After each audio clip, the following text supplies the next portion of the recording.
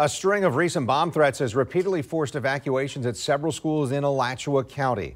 Students are now facing harsh punishment, and law enforcement agencies are teaming up to try and combat the trend.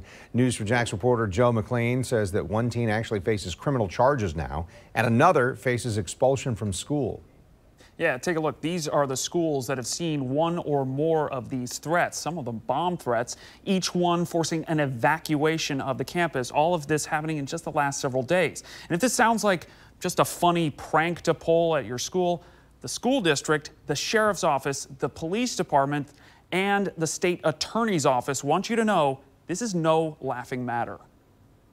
At least three students are now facing serious criminal charges after 11 separate threats were made against various schools in Alachua County. Three at Buchholz High, four at Newberry High, one at Oakview Middle, one at Eastside High, and two at Gainesville High, the most recent one happening on Thursday.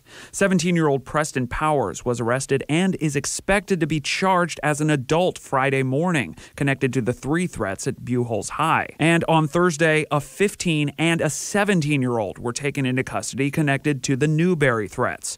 Also on Thursday, Alachua County's sheriff met with agents from local police departments, the school district, and the state attorney's office to coordinate counter efforts to this dangerous trend.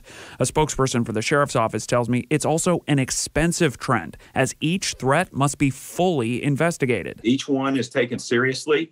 Um, the school follows their evacuation procedures.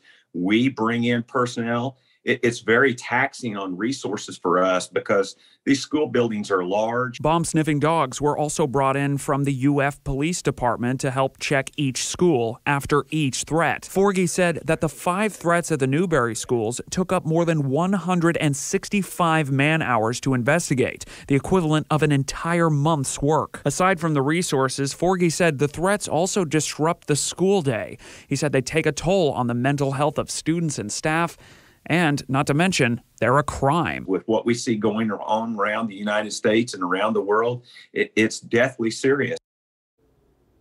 Making a threat like this is a felony offense. Those who are found to be involved could face 15 years in prison and a $10,000 fine. The district uh, said there are also students who are likely to be expelled from their schools over these incidents. Coming up at 11, what the district and the sheriff's office say parents can do to help curb this trend.